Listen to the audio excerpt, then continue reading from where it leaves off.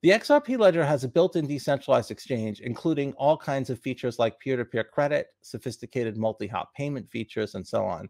And that leaves the XRP ledger uniquely positioned to leapfrog other DEXs by offering a unique automated market maker implementation. The probably the most unique feature is it allows those who provide liquidity for automated market makers to take a large share of the profits that would normally go to arbitrageurs. Can't really talk about the secret sauce just yet. Uh, we're not going to be able to get there alone. Um, Ripple can't Ripple can't do this by itself. Uh, we're working with the broader XRP Ledger community to expand the DeFi ecosystem with this automated market maker implementation.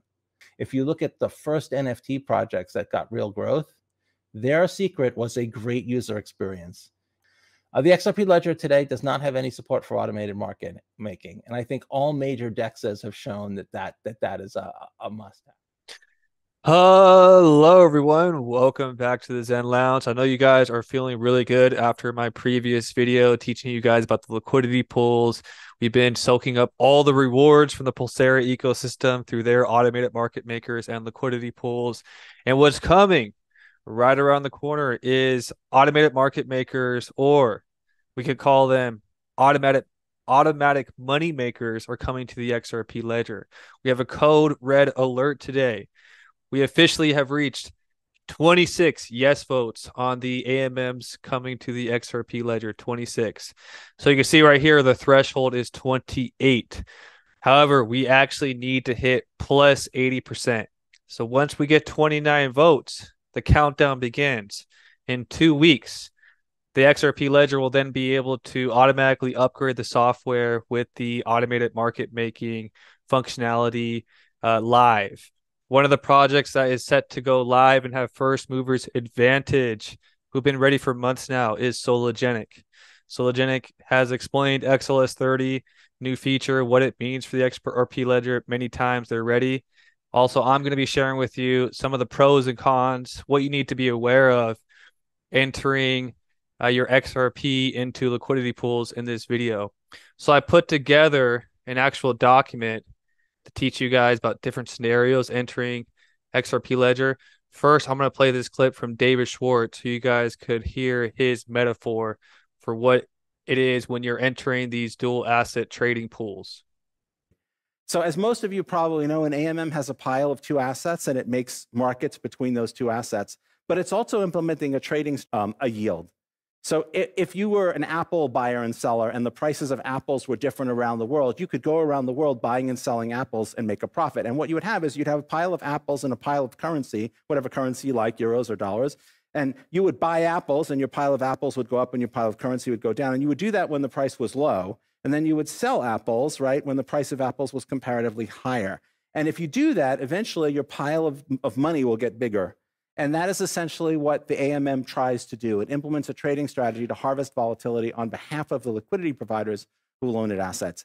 I'm much more personally excited about that than I am about the fact that it provides liquidity, but it does also provide liquidity. It does also make markets. I hope you enjoyed that clip from David Schwartz. As you see on the right hand side of my screen, there's going to be options that you basically put your tokens into uh, XRP USD, Solo USD, uh, different options, but you need two tokens to enter a liquidity pool. And I'm going to show you guys some scenarios in this video. Uh, so, what you need to be aware of is you need to understand how AMMs work. So, this is in a scenario with XRP priced at 50 cents and USD priced at $1 if we were to enter the XRP and USD pool. So, if you're very, very bullish on XRP's price appreciating, you might want to think twice. You might actually do better off uh, just holding XRP. This is where the phrase impermanent loss comes in, because impermanently you could experience. Uh, let me just explain, because the word is kind of more scary than it than it sounds. So let's say I have one thousand dollars, and XRP is priced at fifty cents. So let's say one user, user number one, holds 2000 XRP, which equals 1000 USD. That's all he does. He holds his 2000 XRP, which equals 1000 USD. And another person, user number two, enters a liquidity pool with 1000 USD. So what this user is doing is he's going to have 1000 XRP in this pool and 500 USD to start. So he has 1000 XRP. User 2 has 1000 XRP, $500 USD split into a pool. User 1 is just holding 2000 XRP. In this scenario, XRP pumps up to $1. So let's say XRP pumps to $1, increasing the value of XRP by 100% user one will now now with 2000 XRP turn 1000 USD into 2000. So user one basically turned $1,000 into 2000. User two, because 50% of his value was in USD, experienced uh, 1.5x, which equals 1500 USD. And user two now has 750 XRP, and $750 USD when XRP goes to $1. So he actually has less XRP than when he entered the pool if we were to pull out. So he actually has less USD in the pool. He has less XRP than when he entered, but he has more USD. And it's going to constantly fluctuate depending on the rise in price.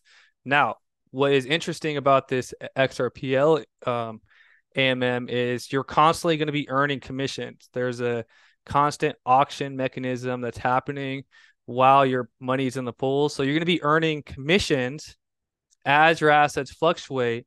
So if you hold long term, uh, this is where the term impermanent comes in. Temporarily, you had less XRP than when you started, but through the commissions, in theory, you could basically make the XRP back you're actually earning APR, real sustainable yield as you're in that pool. Does that make sense?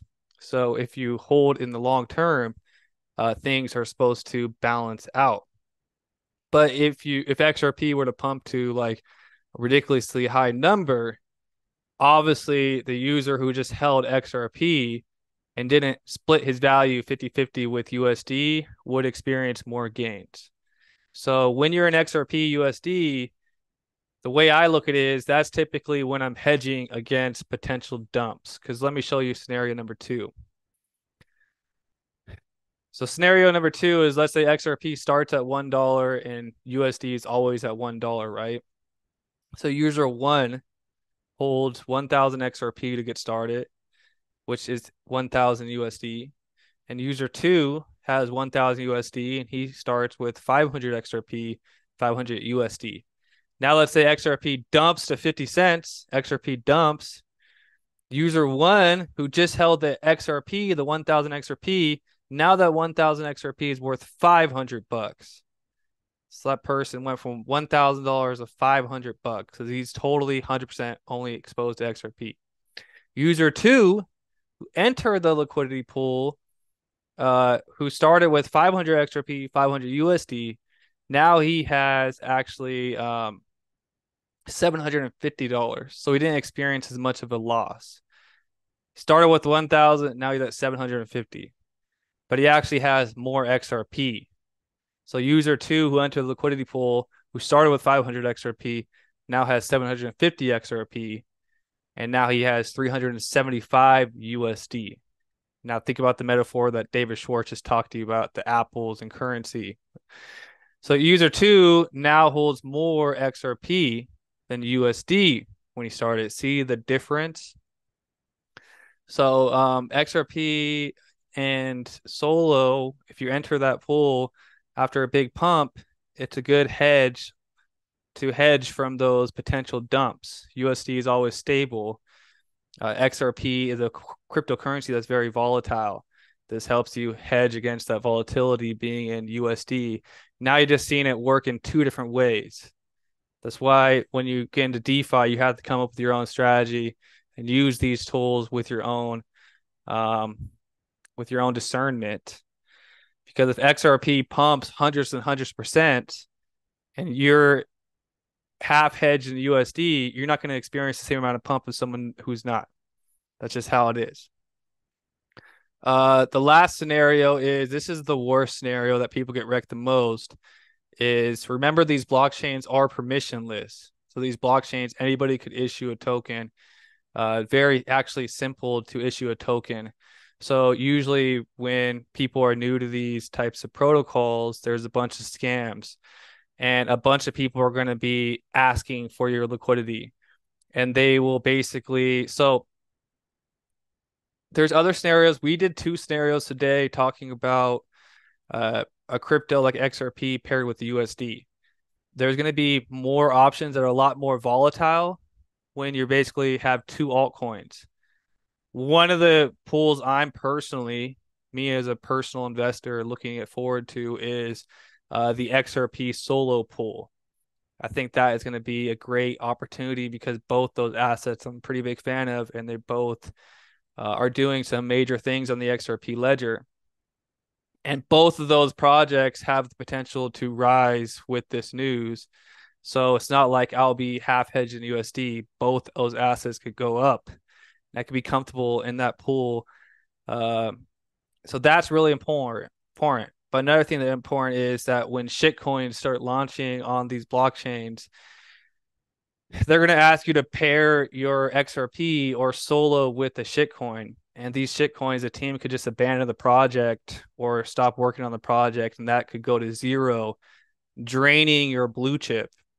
So be very careful of what you pull. Don't just pull your XRP or, or Solo or Coreum or these really powerful assets with a junk coin because if that junk coin goes to zero, you're going to basically get your liquidity drained and you'll lose a lot of your uh, blue chip assets. So that's basically the most important thing to be aware of. Um, if you enter a pool that you are happy owning either of those two in the pool, then you're cozy. They're going to fluctuate, but you're going to be earning trading fees, earning commissions, and with the with Pulsera, you actually earn a boost of incentives that help, you know, even out any types of fluctu- fluctuation uh, of tokens, aka impermanent loss. So those incentives make up for the impermanent loss. Does that make sense? So hopefully, uh, this helped you guys understand, cross reference this information to uh, other assets but this is uh, XRP USD scenario one and two. Let me know if you have any questions on these. Hopefully, this paints a good picture so you understand. Because a lot of people enter a liquidity pool and be like, Zen, how come I have less XRP than what I started for? Uh, it's more than likely because you have more of the other asset uh, at that time. So, everybody, hopefully, you guys enjoyed this video. Stay tuned for more content from David Schwartz and peace subject, which is the AMM.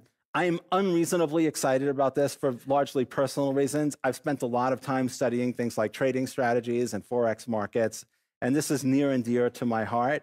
Um, I also learned something that I didn't know, which is um, as I watched automated market makers develop on other chains, I sort of thought that automated market makers were better than order books. That like we implemented order books on the XRP ledger because it's sort of like the obvious thing. And then there's this really cool thing called an, called an automated market maker that most other like DeFi platforms are using, most other DEXs are using. And I learned as I looked into it that they're very complementary.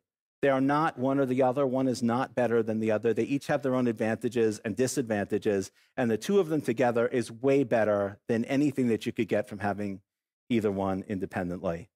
And XLS30 is not just another AMM implementation. This was not the XRP ledger playing catch up. We were caught up with an order book.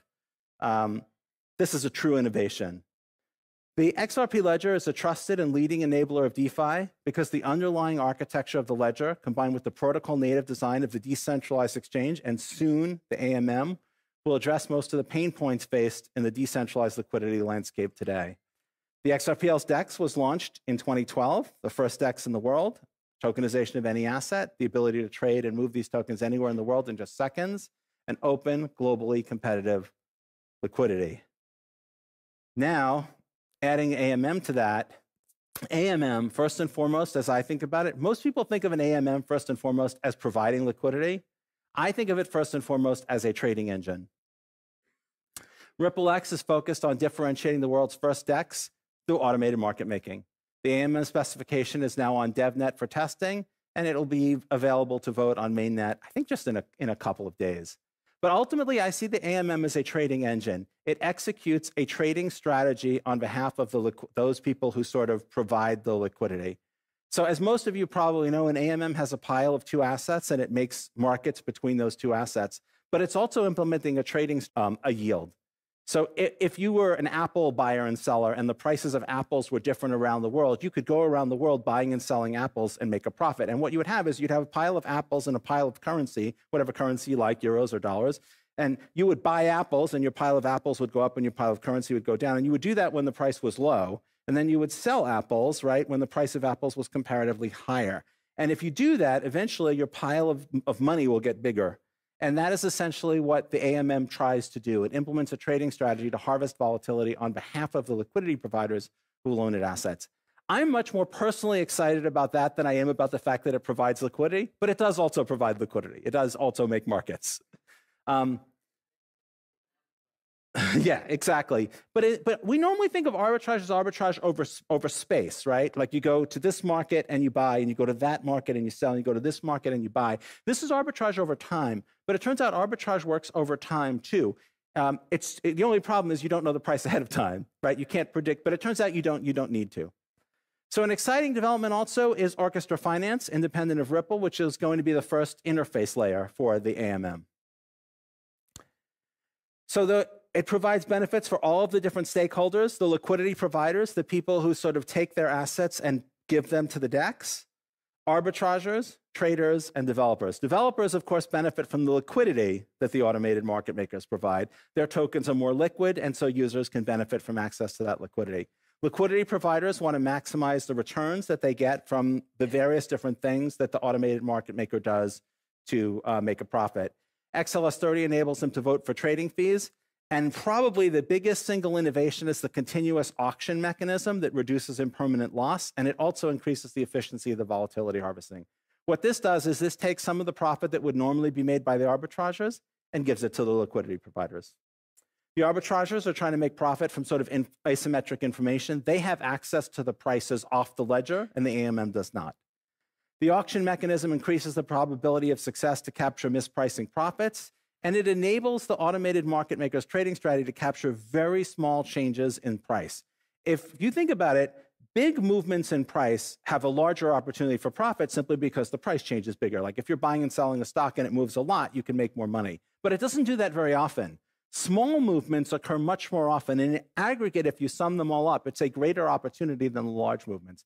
But in order to catch the small movements, the system has to be very efficient. If there's a high fee, a small change in price won't be captured because people wait until the price difference exceeds the fee. Uh, if the transactions are slow and there's a small movement, you don't try to capitalize on that because the price might move against you before your trade can execute. The XRPL's, the XRP ledger's features make it easy to capture those smaller price movements. And of course, integration. The AMM is going to be integrated in the DEX.